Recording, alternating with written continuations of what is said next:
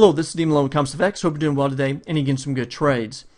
Recently, I've had some folks ask me about the market and how the market's affected with the time change, going from daylight savings time to standard time.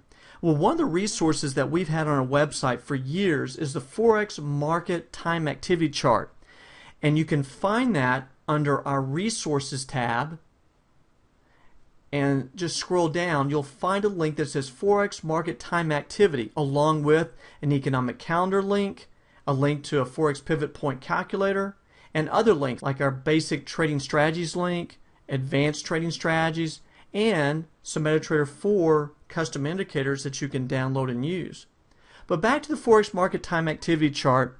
This chart I designed a few years ago around GMT time and looking at all the global time zones related to GMT.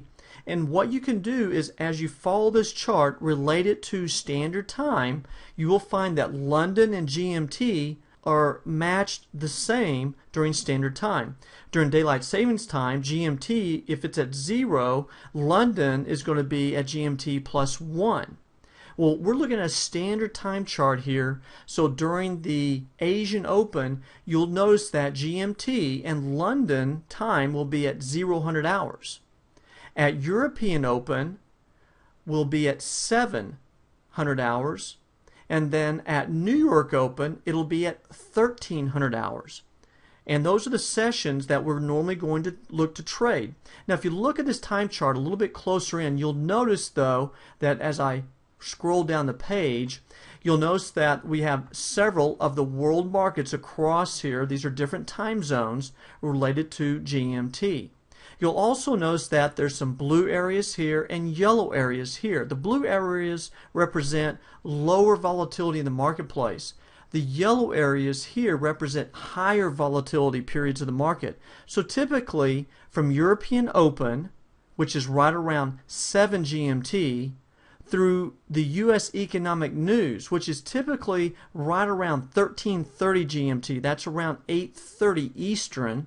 If you notice, if I move to an Eastern time frame, right there, it's about 8:30 Eastern. You normally have non-farm payroll, consumer price index, GDP, producer price index, several other reports come out about 8:30. Then we go into the European market close and then the U.S. market close. So we start in this area having a situation of lower volatility. Also, depending upon the time zone you're trading, you'll notice that some time zones are shown yesterday or tomorrow or occurring today based upon how that clock rolls. So, for instance, you'll notice that the U.S. economic news that normally occurs at 8:30 Eastern for the day is at 0:30 hours for Sydney going into tomorrow. The thing about this chart, though, is it kind of keeps you on track as to where all the economic events occur and the global time frames for those, depending upon where you are in the world. Now at Compass FX, we've made the Forex time activity chart downloadable. You can go up and you can literally just click on print a PDF copy of it, and therefore you can print it out and stick it right next to your computer as you trade. MetaTrader 4 time is often not exactly GMT time. So a chart like this will help you as we trade the marketplace.